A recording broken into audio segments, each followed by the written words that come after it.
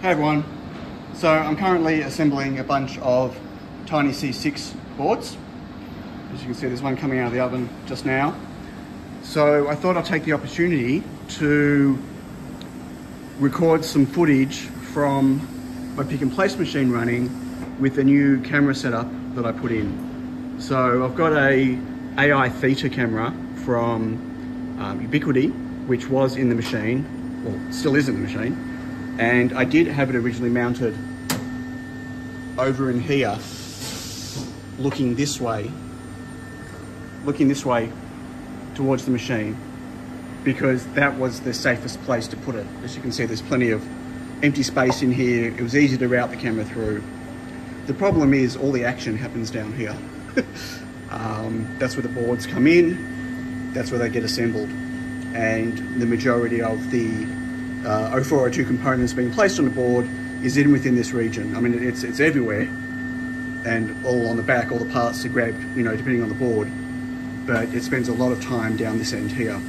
And so I've been racking my brains trying to work out what to do.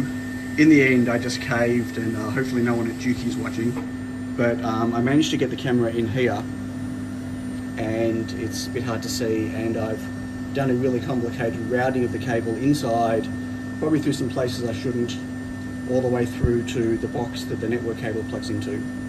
And it, at the same time, I also bought one of the external microphone things that plug into the same box. So that's a, a microphone for, I can't point at it, I can't get my hand in. This is the microphone there for the AI Theta camera. So I can now get sound as well from here. And this is just a 3D printed bracket that sits there that holds the camera in place and um, yeah, I mean there's a big whopping servo there, a lot of action happens around here.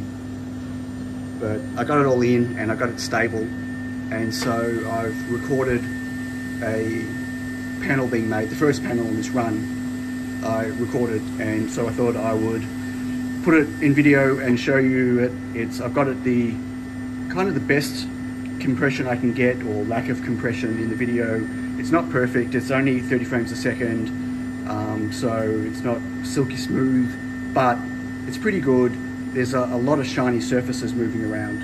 Obviously the pick and place, the, the main head, and it's just, just lots of um, spe specular light and reflections happening, which means there's a lot of stuff changing in the image all the time. So, you know, getting a really good level of compression and stuff and still being able to record at a good bit rate was um, was a challenge, especially because it's going through an RTPS system. I'm not like, the camera's not plugged into my computer, it's plugged into my network via PoE, which is then being captured by uh, the UniFi Protect software, which then publishes an RTPS stream, which I then connect to through OBS and record. So it's being triple handled the whole way through.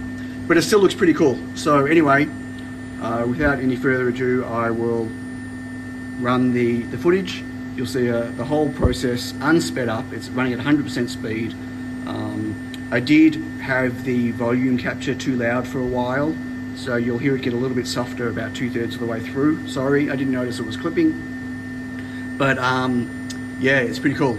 And then at the end of the video, I'll give you a look at what the board looks like after it came out, before it goes in the oven. Cheers!